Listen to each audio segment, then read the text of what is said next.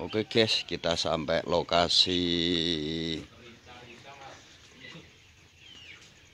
yang jual ayam. Kita akan menyembelih 2 kilo ya untuk dirica-rica untuk dijual nanti di angkringan sama buat sate jeruan, sate usus, sate ambela.